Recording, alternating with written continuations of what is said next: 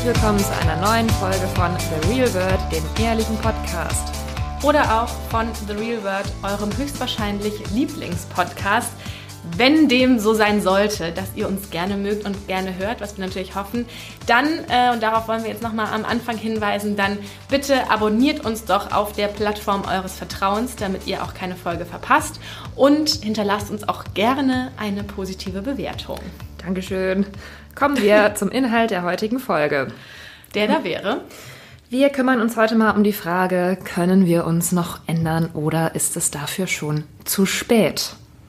Ich habe übrigens, apropos zu spät, ich habe die Tage mit jemandem mich unterhalten übers Älterwerden. Ja. Und ähm, habe in dieser Unterhaltung festgestellt, dass ich, dass man so, hattest du das nicht auch, dass es irgendwann so, also du bist jetzt auch noch ein paar Jahre jünger als ich.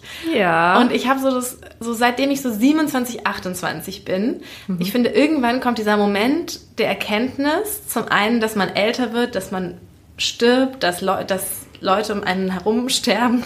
Also dass das Leben so jetzt, dass auch manche Dinge jetzt einfach nicht mehr gehen. Du wirst kein Profisportler mehr werden können. Also dass ja. also Möglichkeiten für immer keine Möglichkeiten mehr sind.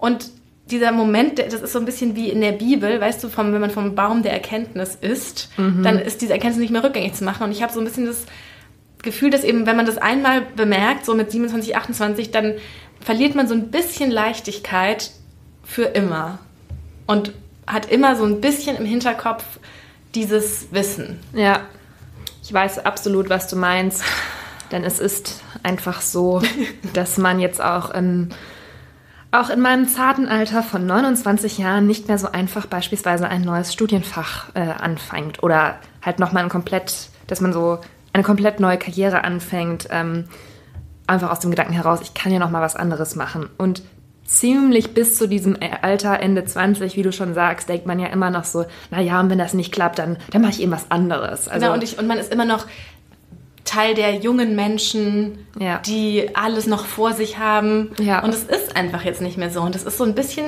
finde ich, so eine erschreckende Erkenntnis. Und ja, also man sollte echt die Zeit genießen, in der man das irgendwie noch nicht im Hinterkopf hat. Ja, kommen wir okay, zu, von den schrecklichen, destruktiven Erkenntnissen zu den positiven Dingen.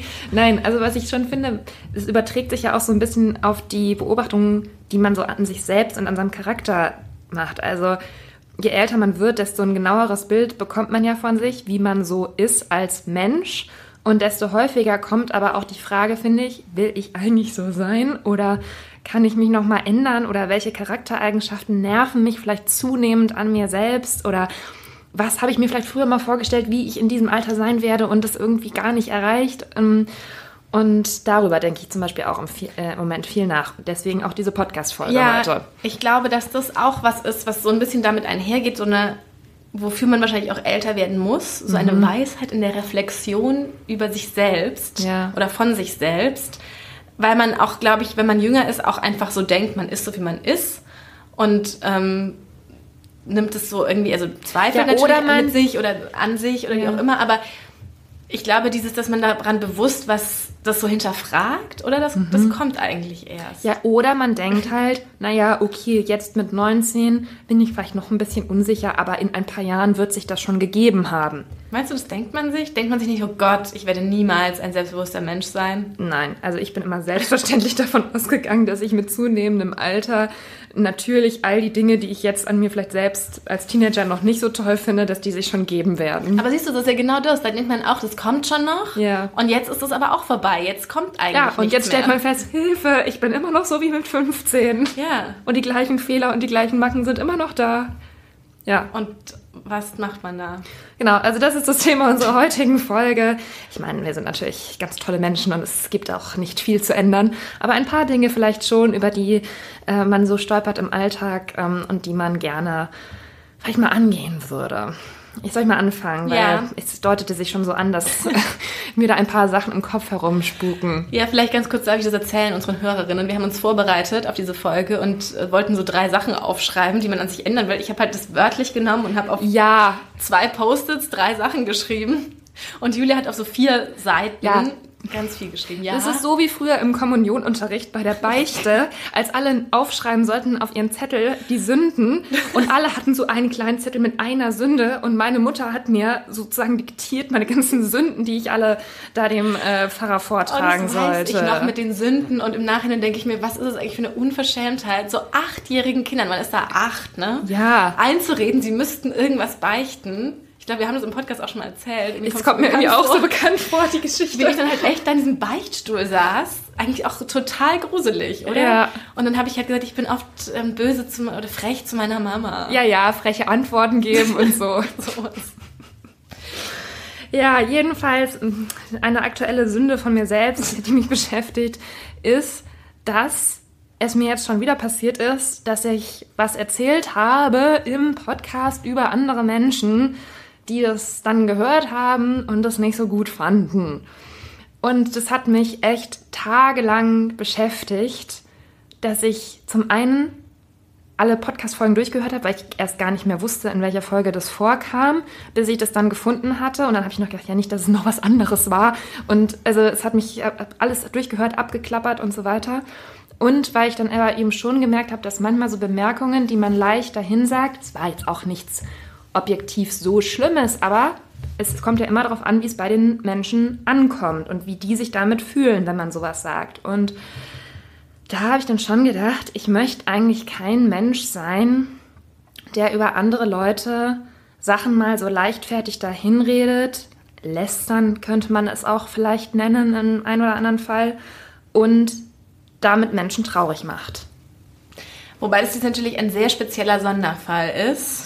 Ja, aber es ist eben was, was mhm. mir, es ist jetzt nicht nur diese eine Situation, aber was mir persönlich schon häufiger passiert ist, weil ich halt gerne rede und auch schnell damit bin, so meine Meinungen kundzutun, äh, auch im beruflichen Kontext eventuell und dass ich mich da manchmal nicht so zurückhalten kann und mir das aber, ich bin komischerweise ein Mensch, dem das dann immer irgendwann vor die Füße fällt, weißt du? Also wo dann Leute das doch mitkriegen, dass man sich negativ über sie geäußert hat oder was ja nicht weiter erzählt, das mache ich eigentlich nicht, wenn mir jemand was anvertraut, das mache ich nicht, aber weißt du, einfach so, man hat was mal schnell dahin geredet und die Person bekommt das mit und finde, fühlt sich da nicht gut dabei und ist irgendwie traurig.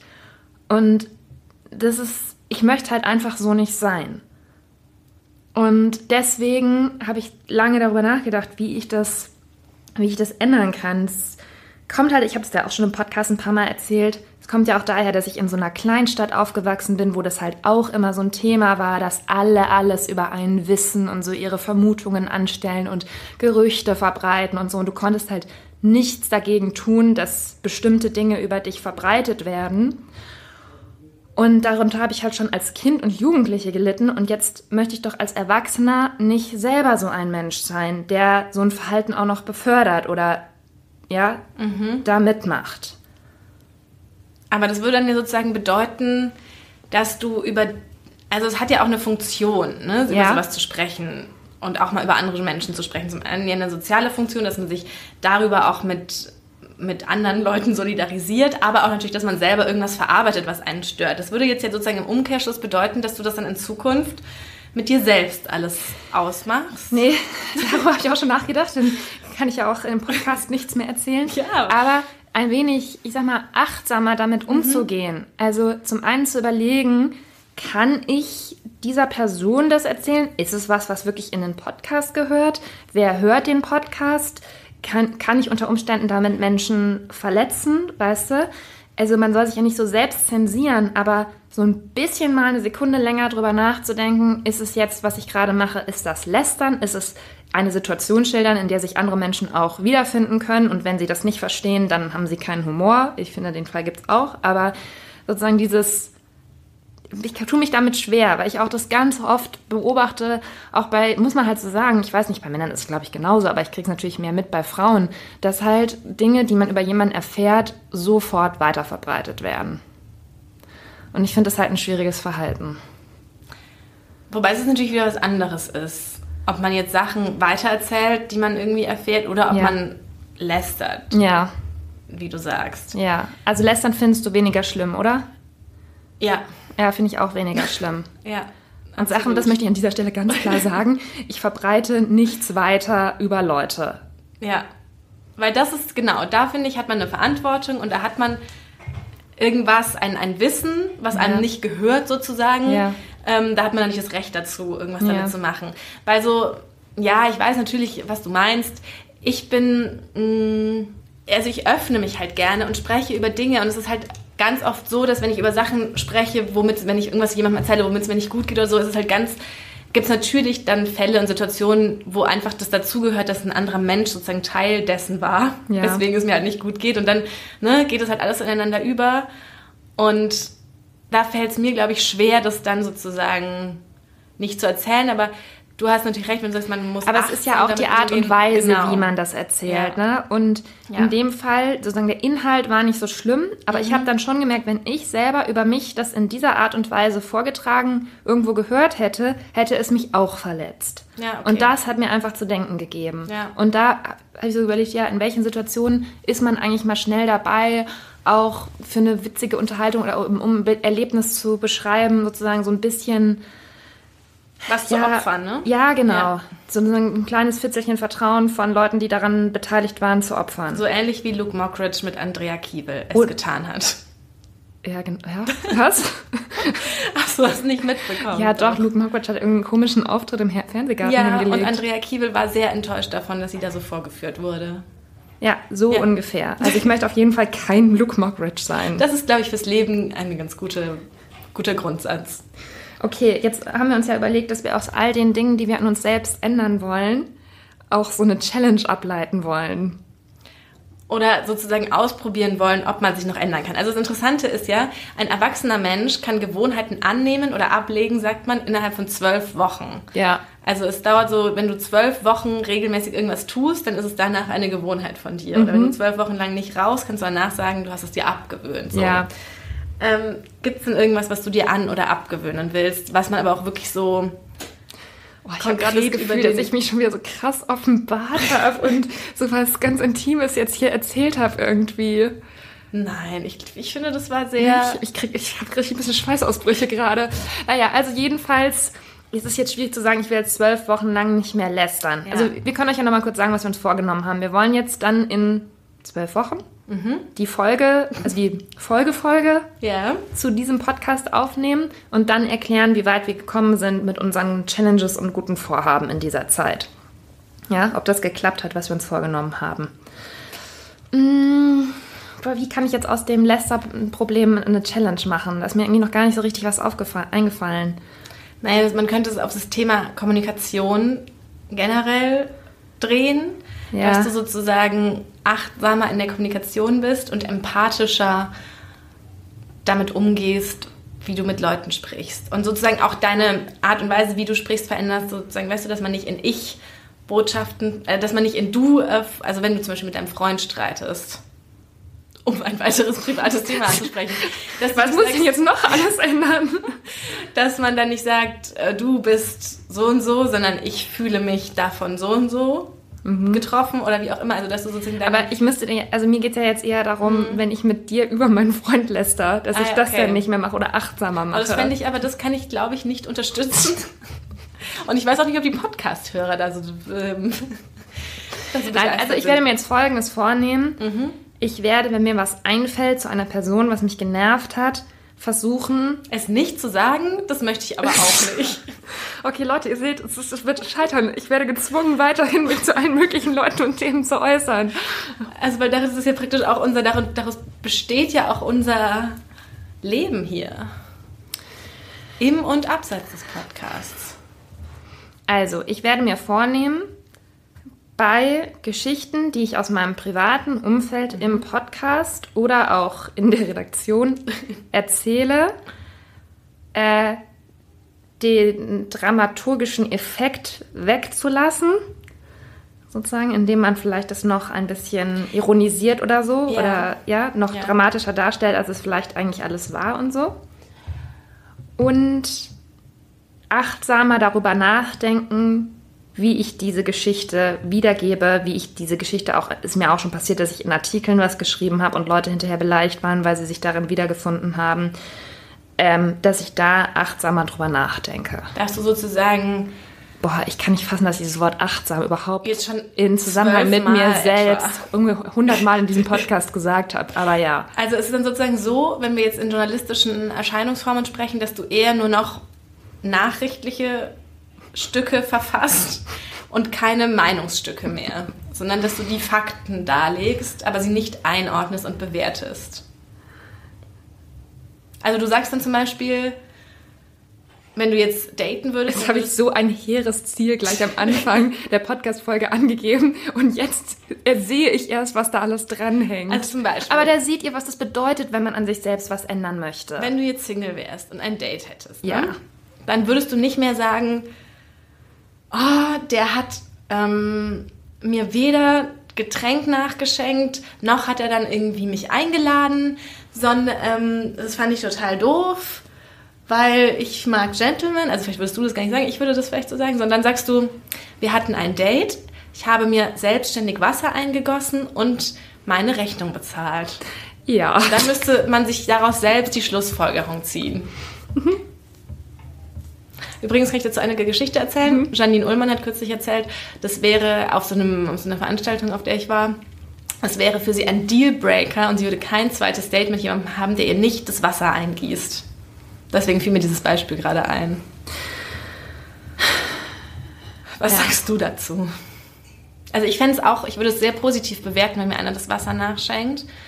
Ich weiß aber nicht, ob ich sozusagen sagen würde, es ist ein Ja, wobei dazu muss ich auch sagen, das finde ich schon manchmal so ein Krampf, wenn man auch im Restaurant ist oder bei irgendwelchen Presseterminen oder so und dann man sich einen Schluck Wasser eingießt und jedes Dann Mal, wenn man ich wirklich, es ist echt so, weil dann alle be beweisen wollen, wie wohlerzogen sie sind, dann fragt jeder nach jedem Schluck Wasser, möchtest du auch, möchtest du auch, möchtest du auch und dann finde Mit ich, oder ohne Sprudel? Oh dann gibt es Gott. verschiedene und Wasserflaschen. da bin ich dann wirklich manchmal so, dass ich mir einfach heimlich noch einen Schluck nachgieße und dann das nicht weitermache.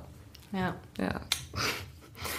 Okay, jetzt sag du doch mal was, was du an dir ändern Also möchtest. ich habe halt so ganz andere Punkte und so ähm, viel weniger auf der Metaebene. Wie gesagt, sie haben ja auch auf einen Post-it-Zettel gepasst. Also meine Sachen, die ich ändern will, sind, dass ich mehr in die Natur will. Ja, klar. Da haben wir uns vorher nicht richtig besprochen.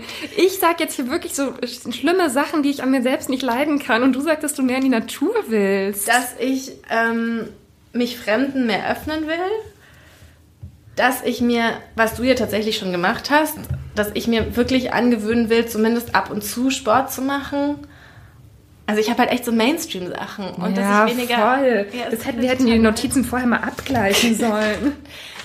Ähm, ja, und dann hatte ich aber noch, dass ich mich ähm, eventuell in meiner Beziehung, wenn ich irgendwas falsch mache, entschuldigen, lernen möchte, mich zu entschuldigen. Weil du das nicht machst? Das bin ich sehr schlecht darin. Okay, ja gut, das ist jetzt schon mal so ein bisschen... Also ich habe auch meistens Punkt. recht, muss ich schon sagen. Ähm, wirklich. Aber, ja, nee, es fällt mir extrem schwer. Fällt es dir auch mit anderen Menschen schwer? Aber es fällt oder? mir auch schwer, weil dann auch manchmal, weil er auch manchmal so fiese Sachen sagt. Sowas wie, ähm, weil auch so in Situationen, wo es gar nicht stimmt, dann sagt er dann so, oh ja, und jetzt kommst du gleich und entschuldigst dich wieder, obwohl ich mich eigentlich eh noch nie entschuldigt habe. Und dann ärgert mich das so krass, dass ich mich, also dass es dann erst recht nicht geht. Also Entschuldigung in den richtigen Momenten, wenn es gerechtfertigt ist, überzeugend und glaubwürdig rüberbringen. Ja. Also wenn es einem eigentlich schwerfällt, sich zu entschuldigen, dann sich zu entschuldigen, ich ist bin zum meistens Beispiel- ein Zeichen, dass es wirklich notwendig ist. Ich bin auch zum Beispiel so, dass ich, wenn ich mich dann auch mal entschuldige, dass ich dann aber auch gleich sage, aber. ja. Also so, ich entschuldige mich, aber dann sage ich halt aber auch du hast wieder, eigentlich schon auch ein bisschen Schuld. Ja, genau. Und dann sage ich, dafür, aber eigentlich muss ich mich eigentlich entschuldigen, weil du. So. Ja. Bist du denn, kannst du das dann gut? Ja, also ich habe mir gerade auch gedacht, mein zweiter Punkt war, dass ich vor Konflikten mit mir nahestehenden Menschen nicht immer so viel Angst haben soll. Also mir fällt es unheimlich schwer, Leuten, die mir nahestehen, auch mal zu sagen, das oder das gefällt mir nicht oder Aber also Dinge so- anzusprechen. Und deswegen glaube ich, das hängt auch so miteinander zusammen. Dieses, äh, dass Menschen was mitkriegen, was ich gesagt habe, es könnte mir auch egal sein. Ne? Also mh, man könnte ja dann auch sagen, gut, ich habe das gesagt, ich stehe dazu, so wie, die das immer im Reality-TV machen und ich bin halt so, ich polarisiere eben und entweder man mag mich oder man mag mich nicht. Ähm, Aber mir geht das dann halt echt tagelang nach und das hängt einfach so miteinander zusammen. Und dann kann man es halt nicht machen, wenn man so harmoniebedürftig ja. ist wie ich. Dann kann man sich nicht hinstellen und Leute verärgern mit äh, mal so schnell dahingesagten Aussagen. Weil man sich dann auch selbst ins eigene Fleisch schneidet. Ja, genau. Aber ähm, sowas anzusprechen, was meinst du jetzt mit den nahestehenden Personen? Also auch jetzt so nahestehend wie dein Freund oder halt so ja. im Freundeskreis? Also, weil also, ich verstehe das mit dem Freundeskreis, fällt mir auch schwerer als. Also, meinem Freund, dem kann ich alles. Also, da habe ich gar keine Hemmungen, Sachen anzusprechen. Mm, also, tatsächlich auch so zum Beispiel mit meiner Mutter. Mhm. Also, ich finde, mit den Eltern ist es sehr, sehr schwierig, da auch mal zu sagen, äh, dies oder das oder jenes sehe ich aber anders oder ähm, war ich auch schon früher so, wenn ich, ich war als Teenager, ich bin wirklich komplett ausgerüstet. Ich habe das ganze Haus zusammengeschrien, weil ich solche Wutausbrüche hatte. Aber nach fünf Minuten, ich wollte dann so ungefähr mir eine Tasche packen und äh, auf der Straße leben, weil ich mich so aufgeregt habe, dass ich nicht auf irgendeine Party durfte. Und dann, wenn ich mich, sobald ich mich abgeregt hatte, ja, ich. bin ich halt sofort hin und Mama, es tut mir so leid und bist du wieder gut mit mir und so. Und das zieht sich halt so weiter durch mein ganzes Leben. Ja. Und aber das kenne ich. Ich finde, je älter man wird, desto häufiger hat man auch tatsächlich Situationen mit den Eltern, in denen man einfach vielleicht Dinge anders sieht oder es ist jetzt nicht, es ist nicht andauernd. Ich habe ja auch ein, ein, sehr enges Verhältnis zu meinen Eltern. Aber es gibt halt schon so ein paar Sachen, wo ich dann, wo es mir aber dann schwer fällt zu sagen, so möchte ich das eigentlich hm. nicht. Also bei mir ist es so, so so ganz nahe, wie gesagt, so meine Mutter oder mein Freund, da kann ich das ganz gut. Und ich habe es inzwischen aber auch, also ich fand es auch schwierig so bei Freundinnen. Mhm da war es dann eher eine Weile so, dass man sich dann irgendwie, dass ich mir einfach nicht gemeldet habe und man ja, dachte, ja. das geht dann schon wieder irgendwie vorbei und so. Aber das habe ich inzwischen eigentlich, mh, hm, zumindest so mit einer meiner engsten Freundinnen, so ganz gut gelernt. Also das können wir inzwischen. Ja. Uns irgendwie so Sachen sagen, die wir nicht gut finden und das aber auch in so einem ganz, jetzt nicht Freund, aber in so einem relativ neutralen Ton, was auch früher war das dann ja auch. So. Aber die ihr aneinander nicht gut findet oder die ihr also Entscheidungen, die der andere trifft, zum Beispiel nicht gut findet. Also wenn du jetzt zu einer Freundin sagen würdest, du, ich finde jetzt deinen neuen Freund blöd oder so. Oder ich finde, der tut dir nicht gut oder so. Ja, beides eigentlich. Okay. Ja. Aber das geht auch nur mit der, die ich auch, kenne ich jetzt auch echt schon lange. Also ich finde es halt je schwerer, umso weiter weg. Zum Beispiel mit meinen Großeltern gibt es ja auch mal ganz viele Probleme. Und bei denen ist es halt immer so, also es ist halt, aber da merke ich halt, dass es nicht unbedingt immer nur an einem selbst liegt. Weil das zeigt ja, mit manchen Leuten kann man es und mit manchen nicht. Das zeigt ja irgendwie auch, dass der andere auch irgendwas bieten muss, anbieten muss mhm. oder ne, das möglich machen muss. Und man es nicht immer komplett selbst in der Hand hat, weil zum Beispiel meine Großeltern sind immer so voll fake. Also da ja. wird eben immer so getan, als wäre alles gut und oh toll, aber es ist überhaupt nichts gut. Und die sind da habe ich jetzt auch schon mal was angesprochen und da merkst du einfach, die sind komplett überrascht, können damit überhaupt nicht umgehen, weil wir es einfach noch nie gemacht haben. Aber das hat sich auch, habe ich so ein bisschen, da war ich auch sehr stolz auf mich, weil ich da so manchmal schaffe ich das halt, manchmal was anzusprechen, aber ganz oft auch nicht. Mhm. Ähm, auch kürzlich habe ich wieder angerufen und dachte, ich sage irgendwas, aber dann habe ich auch wieder in so einem oberflächlichen, oh, guckst du jetzt auch Höhle der Löwen, mhm. gut, dann gute Nacht, Talk, mich irgendwie abtun lassen. Aber das wäre auch sowas, ja, das ist halt einfach eine, Über so eine krasse Überwindung. Ja. Aber das ist interessant, was du sagst, dass es auch aufs Gegenüber ankommt. Ja, also, dass es nicht unbedingt was damit zu tun hat, wie nah einem die Person steht, sondern ja. als wie aufnahmefähig für solche Kritik oder so man diesen Menschen erlebt hat oder ob man diesen Menschen auch als jemanden wahrnimmt, der halt sehr schlecht, äh, sehr schnell beleidigt ist oder dann ist die Stimmung schlecht, dann muss man den wieder irgendwie beruhigen oder auf seine Seite ziehen und so. Das hat vielleicht auch damit was zu tun. Aber zum Beispiel, ich wollte noch kurz dieses Elternbeispiel zu Ende mhm. führen, weil wir ja auch relativ viele mal über unsere Familien reden und so.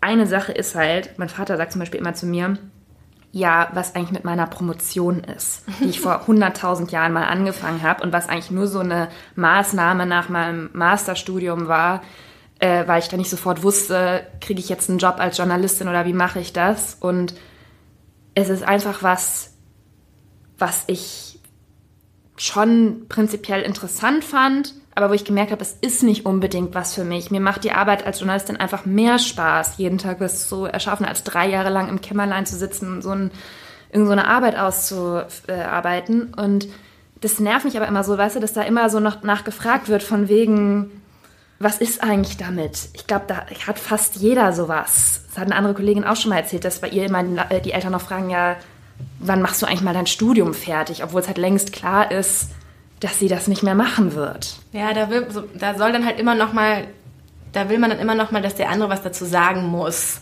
auch wenn man eigentlich weiß, ne? Und dann muss man ihn aber immer noch mal damit konfrontieren und zur Stellungnahme kriegen. Das ja, ja, ja, genau. Ja. Also solche Sachen eben. Wobei jetzt natürlich das schwierig ist, so als Gewohnheit, also als, ähm, das ist ja sehr situativ, dieses ja. Dinge ansprechen. Hast du denn irgendwas konkret, was du mit irgendjemandem klären musst? Nee, aber was ich mir vorgenommen habe, ist auch im beruflichen und auch generell, das hat jetzt nicht, aber im beruflichen, ist einfach, ich verbringe so viel Zeit in diesem Beruf, deswegen kommen da die meisten Situationen einfach auf, dass man sofort in der, in der Situation darauf reagiert. Also, dass ich dann nicht äh, nach Hause gehe, mich entweder über das was irgendein Kollege gesagt hat, ärgere und dann stundenlang überlege, was könnte ich darauf antworten, wie kann ich darauf reagieren oder mich fünf Tage lang über meinen Vater mit der Promotion ärgern und dann irgendwann sagen, ja, ist übrigens Papa, es nervt mich voll, wenn du immer wieder damit anfängst. Weißt du, sondern dass man dann in der Situation sagt, also damit hab, brauchst du jetzt gar nicht ankommen. Da fällt mir übrigens was ein, was ich wirklich an mir konkret ändern will. Ja. Was, wo ich mich auch kürzlich sehr geärgert habe. Und zwar auch tatsächlich hier in der, in der Redaktionskonferenz. Da wird ja immer gefragt, so was war gut, was war schlecht. Ja. Und ich hatte halt was mir gedacht, was ich nicht, also was ich gerne sagen würde und war aber habe so immer so hin und her überlegt und dachte so, hm, wie kommt es an und wie nimmt mhm. der oder der das auf und ist das wirklich sozusagen richtig, das zu sagen oder ist es jetzt hier sozusagen führt es vom Thema weg und habe so hin und her überlegt und habe es dann eben nicht gesagt, ja. ja. Und dann im späteren Verlauf dieser Konferenz kam eben genau das auf und es wurde genau das gesagt, was ich mir eben eine Viertelstunde vorher die ganze Zeit gedacht habe und es wäre sozusagen genau also es wurde dann genau so diskutiert, wie ich es auch empfunden habe. Und dann mhm. habe ich mich so geärgert und mir gedacht, hätte ich es doch mal gesagt, wäre ja, das so mein ich. Punkt gewesen. Und das habe ich so oft, und weil man auch immer sagt, so man lernt aus Fehlern. Nein, ich habe schon so oft sowas gehabt, dass ich mir immer was gedacht habe und dann habe ich mich nicht getraut. Und dann mir danach gedacht, oh, hätte ich es doch gesagt, aber ich habe nie daraus gelernt, sondern in der neuen Situation habe ich es dann wieder nicht gemacht. So. Mhm. Und diesmal habe ich mich so darüber geärgert, dass das wirklich was wäre, ähm, ja, wo ich einfach mir denke, man muss es einfach machen. Es ist natürlich auch, ich habe irgendwie zwei Konferenzen davor, habe ich was gesagt und wurde dafür ja. so ja, klar. schlecht. Ne? Genau. Ähm, und dann bist du so, aber am Ende ist es, wenn du es einfach immer sagst, dann läuft es euch mal gut und mal schlecht, aber du verpasst halt auch nicht die Sachen, wenn sozusagen, wenn du das irgendwie ins Schwarze triffst oder so. Aber das wäre was, was ich, wo ich auch einfach, dass man einfach immer, wenn man irgendwas genau, also, im Kopf hat, es sagt. Ja, also Dinge einfach direkt ansprechen, konfrontieren und dann nicht so, ja, weil ich glaube, es kostet einen auch sehr, sehr viel Zeit und Energie, immer dieses Nachdenken. Soll ich es sagen? Soll ich es nicht sagen? Ja, und wie sage ich es? wie wird darauf reagiert. Genau, und das, das macht mich wahnsinnig in meinem eigenen Kopf, dass ich mir immer schon vorstelle, wie dann diese äh, Diskussion oder Unterhaltung verlaufen wird, bevor ich bevor die Diskussion überhaupt angefangen hat. Und dann hat. sagt man es nicht mal und dann war eh alles. Und dann hätte man sich auch diese Energie. Genau. Also weißt du, wenn man genau. sich wenigstens das eh gespart hätte, also wenn man sich, aber dann hat man sozusagen doppelt verloren, weil man hat seine Zeit und seine Kraft, irgendwie mentale Kraft, damit verschwendet, ja. das zu antizipieren, hat es dann aber nicht mal gesagt, also hat dann sozusagen doppelt verkackt. Genau. Und dann sind wir wieder beim Lästern, weil dann nehmen wir einen Podcast auf, in dem wir und uns darüber dann. beschweren und ja. dann tauchen lauter Probleme auf, weil es wieder jemand gehört aber hat. Aber wie kann man das dann, man muss das dann einfach sozusagen es gibt ja keinen Trick, ne? Man muss nee. es halt einfach sich zwingen, es jetzt zu sagen. Ja. Das stand auch im, im Buch von, von Daria Daria tatsächlich. Echt? Dieses ähm, in der Runde, wenn einmal, wenn man irgendeine Anmerkung hat oder irgendwie, wenn dann so ist, will noch jemand was sagen und man will eigentlich was sagen und trotzdem und keiner sonst, es dann zu sagen, weil sie sagt eben, es gibt man sagt das nie für sich alleine und man würde es immer stellvertretend sagen, weil man sich mhm. eigentlich sicher sein kann, wenn man selber irgendwas, eine Anmerkung hat oder irgendwas, dass eigentlich mindest, mindestens ein anderer sich das auch denkt, außer man, ne? Ja. Und dass man dann eigentlich immer sich sicher sein kann, dass die anderen dankbar dafür sind, dass man es sagt. Ja. Und ich hatte das auch kürzlich, fällt mir jetzt tatsächlich gerade ein, da hatten wir so eine Runde, so eine berufliche Runde und ich habe irgendwas gesagt, was mir wirklich auf dem Herzen lag und es kam danach und das fand ich aber auch so schön wiederum, eine Frau zu mir und hat gesagt, hat sich dafür bedankt, ja. dass ich das angesprochen habe, weil sie hätte es ja nicht gemacht.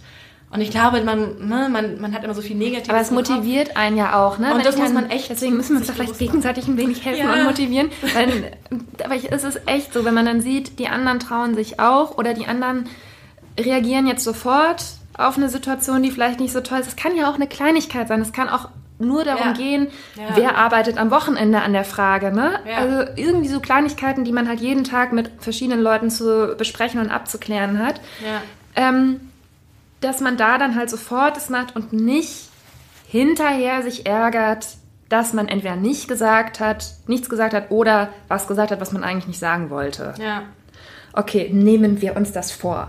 Ja, und vielleicht nehmen wir uns auch vor, dass wenn mal jemand anderes was sagt, dass wir den danach uns ihm eine kurze Nachricht schreiben oder uns dafür bedanken. Oder Ja, oder noch besser oder in, in der Runde Runde unterstützen. unterstützen. Ja. Genau. Ja. Ja.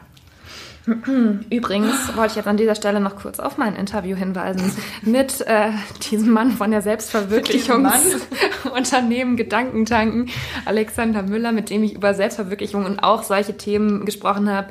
Wie kann man sich eigentlich noch ändern? Welche Fragen muss man sich selbst stellen, um mal so ein bisschen festzustellen, wo stehe ich eigentlich im Leben, wo will ich eigentlich hin, wer will ich vielleicht sein und wie kann ich zufriedener werden mit meinem, mit mir und mit meinem Leben? Und da sind so ein paar Sätze schon wirklich bei mir hängen geblieben. Halt zum Beispiel, dass er gesagt, ja, man kann jeden Tag äh, seine Haltung, wie man an diesen Tag und an Situationen im Zwischenmenschlichen herangeht, ändern. Also es ist, man muss sich sagen, nicht damit abfinden, dass man jemand ist, der immer viel darüber nachdenkt, ob man wann was wie sagt, sondern du kannst einfach morgens aufstehen und sagen, heute sage ich es, heute stehe ich dazu und dann einfach rauslassen. Okay. Es wird mir jetzt hier ein bisschen zu Coaching-mäßig, dieser Podcast. Ich Ja. möchte noch eine Sache erzählen, wie ich, die ich gemacht habe, die ich sehr untypisch für mich fand. Ich habe nämlich gestern zwei neue Ohrlöcher stechen lassen. Ja, äh, Und das fand ich auch krass. ja finde ich auch krass. Ich finde auch krass, dass du dich hast tätowieren lassen. Ich weiß gar nicht, Hab ob das ja unsere nicht. Hörer überhaupt schon wissen. Nein, aber habe ich doch Ja, aber du hast doch schon ein Tattoo. Ja, das habe ich aber schon jetzt ein, eine Weile. Ja, was Jahr. ich, aber da bin ich immer noch nicht drüber hinweggekommen, dass du das zum einen gemacht hast und Auf einer auch noch Party ein, auch. ein zweites wolltest. Weißt du, ich als alter Hypochonder habe mir neben so einem Pool, ohne vorher zu googeln, was passieren kann. Ja. Und ich hatte sogar Alkohol getrunken, habe es im Nachhinein gelesen, Ja, dass das war es wahrscheinlich total gut. gefährlich ist. Was? Weil dann wird das Blut verdünnt und dann blutest du stärker und so weiter. Okay. Aber siehst du, manchmal ganz gut, es hat, ist nichts passiert. So. Ja, crazy. Das so eine wilde so Seite, crazy, an die ja. die jetzt so rauskommt. Dann mit 33 lässt sie sich plötzlich piercen und tätowieren und so. Morgen kommst du mit so ähm, rosa gefärbten Mhm. Haaren zur Arbeit wahrscheinlich. Genau. Ja, Naja. okay, also es ist, können wir festhalten, es ist wahrscheinlich nie zu spät, sich zu ändern. Vielleicht schon, wir wissen es nicht. Wir werden es in zwölf Wochen, wenn wir den, Wenn wir hier nicht mehr arbeiten, weil wir zu viel gepöbelt haben Ja. in der Konferenz. wenn wir die Bestandsaufnahme zu diesem Podcast ähm, aufnehmen, werden wir es euch berichten. Ja, mal schauen, ob ich dann ein weiteres Tattoo habe. Das habe ich nämlich tatsächlich noch vor. Und weißt du, was ich mir tätowieren lassen will? Was denn? Das Zeichen dafür, sich weniger Sorgen zu machen. Dafür gibt es ein Zeichen? Ja, das ist nämlich Hakuna Matata, wegen Dis also das so. finde ich auch schön wegen dem Disney-Bezug. Aber ich Wegen wollte jetzt nicht Dschungelbuch, ne? mir so, ähm, Oder? König der Löwen. Oh, shit. Mhm, Okay. Fast. Wollte mir jetzt nicht so, also das hätte ich jetzt echt doof gefunden, aber es gibt da so ein, so ein ganz kleines, sieht ein bisschen aus wie ein Notenschlüssel. Mhm. Ähm, und das steht eben für Hakuna Matata, beziehungsweise für Will ich mir jetzt auch was tätowieren keine lassen? Sorgen machen. Und da Ich habe immer gedacht, ich will das nicht. Aber wenn du das jetzt auch machst, dann muss ich vielleicht auch machen. Das Real World Logo. Oh Also ja. auf dem Arm. Hallo. Das ist mein Podcast. Bitte folgen auf Spotify, iTunes, Soundcloud und Deezer.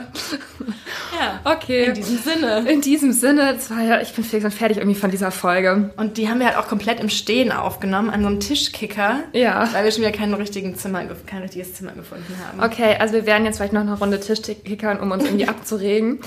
Und ähm, ich hoffe, ihr denkt jetzt nicht alle, dass ich so eine Lästerschwester bin. Bitte nicht.